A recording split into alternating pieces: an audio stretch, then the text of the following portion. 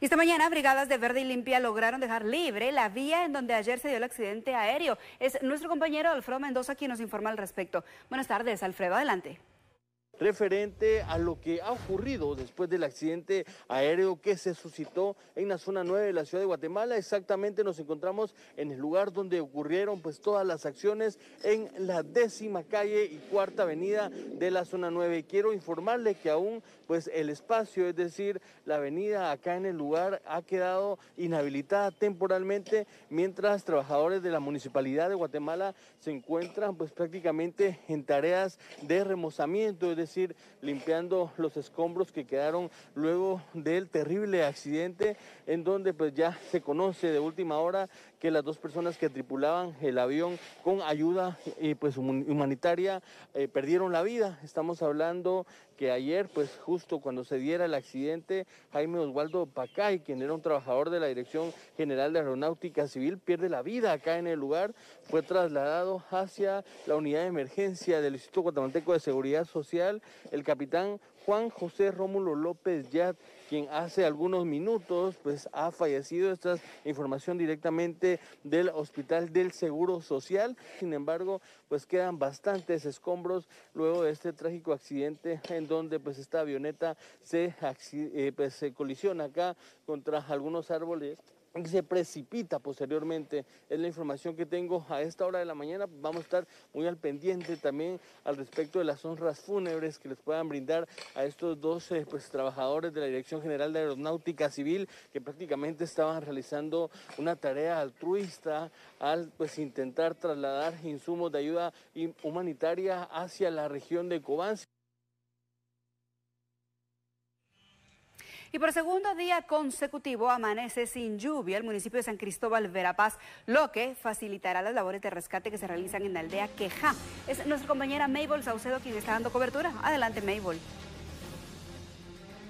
El lugar de la zona cero, el lugar de la tragedia. Sin embargo, en San Cristóbal Verapaz muchas de las regiones están todavía inundadas. Afortunadamente, Acá ya casi se cumplen 24 horas sin lluvia y esto ha ayudado a que las inundaciones vayan bajando. Usted observa, acá estamos en un predio. Eh, cuéntenos, don César, ¿en qué ubicación estamos acá exactamente? Estamos en la zona 6, el Petencito. Y aquí cuéntenos qué fue lo que, cómo ha sido la situación. Vemos de que allá tiene su microbús prácticamente que, bueno, no sabemos si, si todavía sirve y cómo ya va bajando el agua.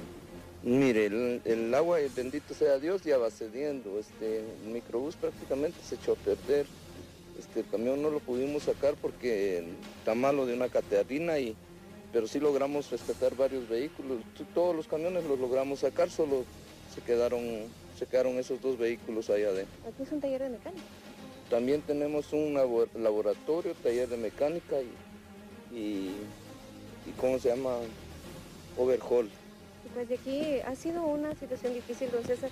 Vamos a ver aquí es, eh, la parte también de, la estructura, porque todo esto estaba inundado, pero gracias a Dios pues ya va eh, cediendo. Ustedes observan las imágenes acá, eh, por ejemplo, don César, hasta acá llegó el agua. Sí.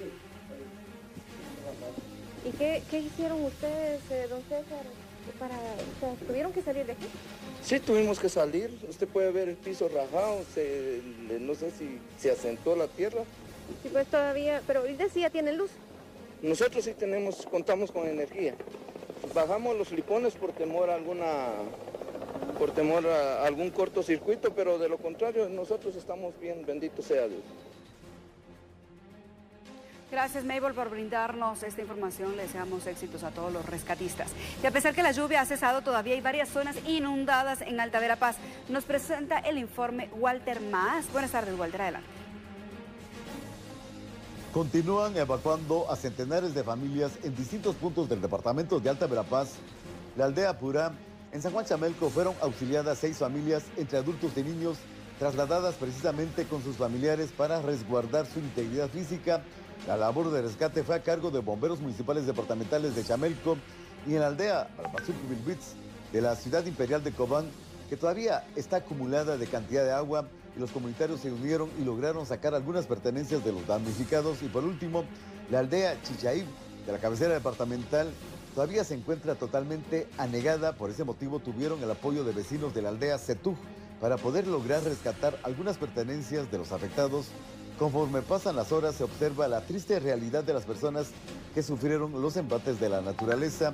Se cuenta con varios albergues en la región. Se espera la colaboración y participación de personas y empresarios para que puedan donar víveres a los damnificados. Desde Alta Verapaz reportó Walter Más. Los cuerpos de socorro siguen enviando brigadas de ayuda a los lugares eh, de la tragedia, como nos comenta a continuación nuestro compañero Juan Pablo Garrido. Adelante, Juan Pablo relacionada al trabajo que realizan más de 155 elementos del casco negro en los departamentos afectados luego del paso de la depresión tropical ETA. Las brigadas de rescate de bomberos voluntarios aún continúan trabajando. Me refiero al departamento de Izabal. Anoche se hizo una evaluación de una aldea, la cual eh, aún estaba inundada Afortunadamente los vecinos atendieron las recomendaciones que se les dieron y evacuaron.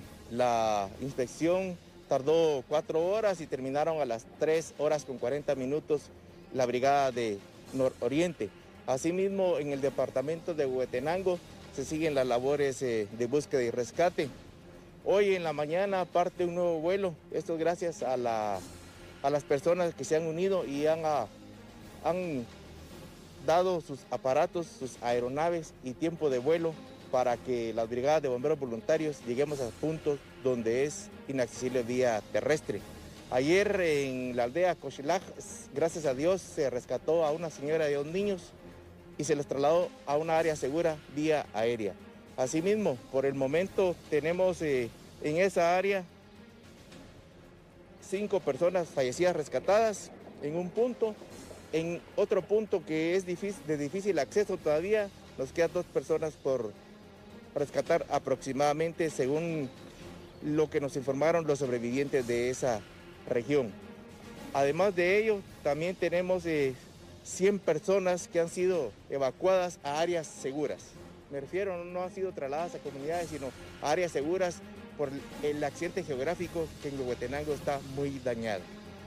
Seguimos eh, trabajando como país, como hermanos institucionalmente hablando, porque nuestra misión es llegar a los lugares y mitigar el, daño, mitigar la, la, ausencia de personas que como los socorristas, ejército, usted lo ha dicho, y otras instituciones, llegamos a darle la mano a nuestro hermano guatemalteco para evacuarlo a un lugar seguro.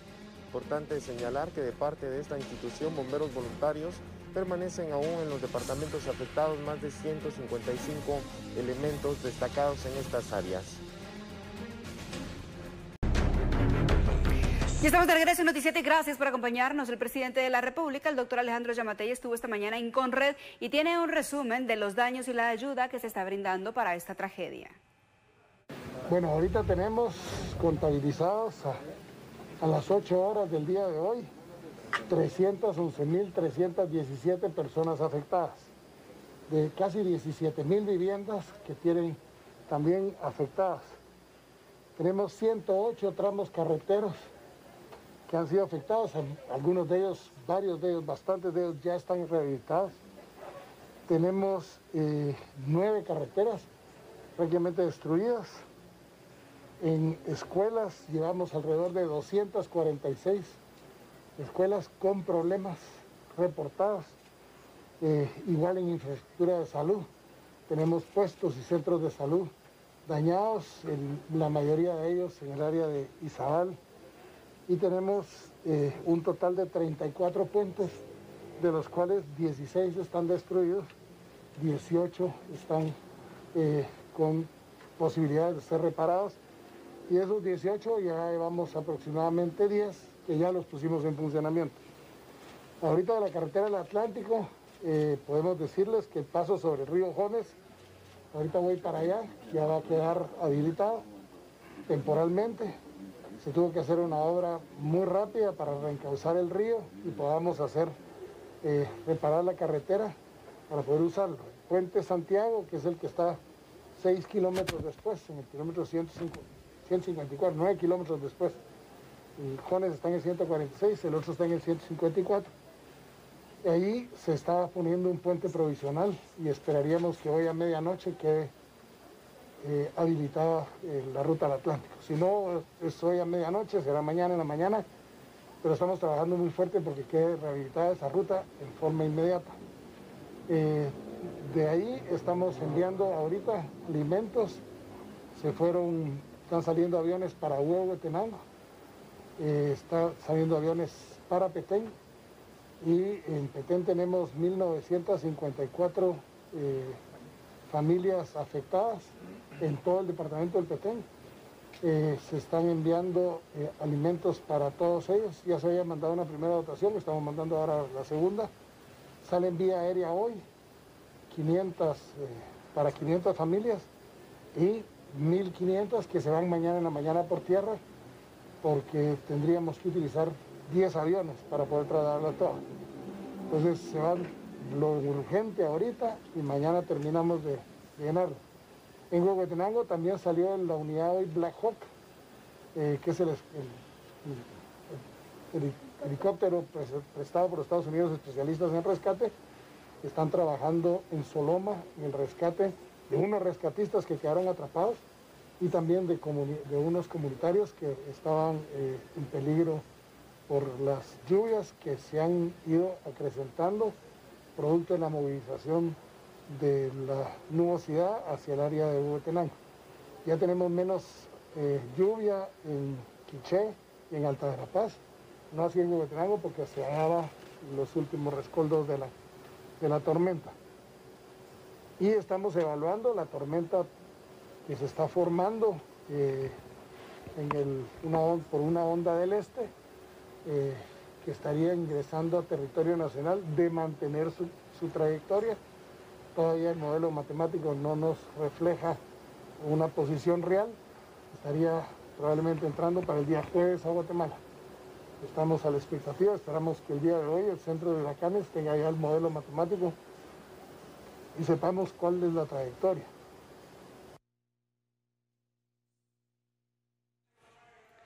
Continuamos con más información relacionada con esta tragedia en Izabal. Se tiene más claro ya el panorama también ahora que la lluvia ha cesado y se cumplen tres días de labores de rescate y el llevar ayuda humanitaria a los damnificados. Tenemos las imágenes.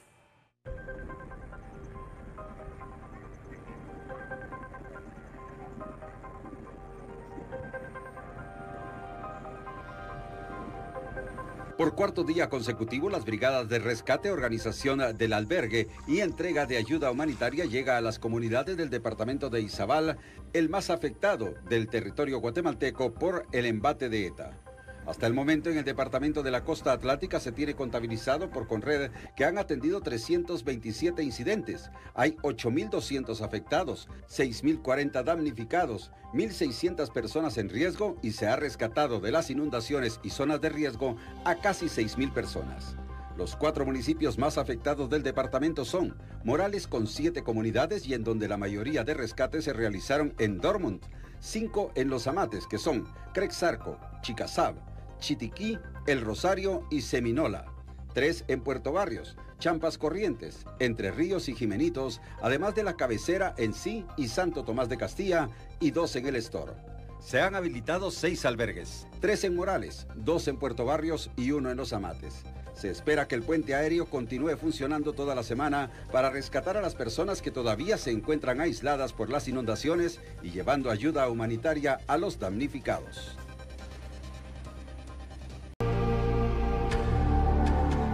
Estamos de regreso, gracias por acompañarnos. Tenemos información relacionada a la pandemia en nuestro país y precisamente vamos a actualizar los datos que nos brinda el Ministerio de Salud para el domingo 8 de noviembre. Tamizajes 684, nuevos positivos 98, fallecidos 2, positivos activos 6.059, positivos acumulados 111.360, recuperados 101.478, personas fallecidas 3.823.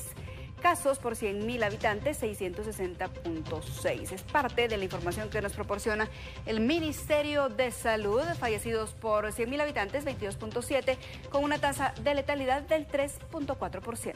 Nosotros nos despedimos de ustedes. Gracias por acompañarnos. Buen inicio de semana. Nos encontramos mañana en punto de la una.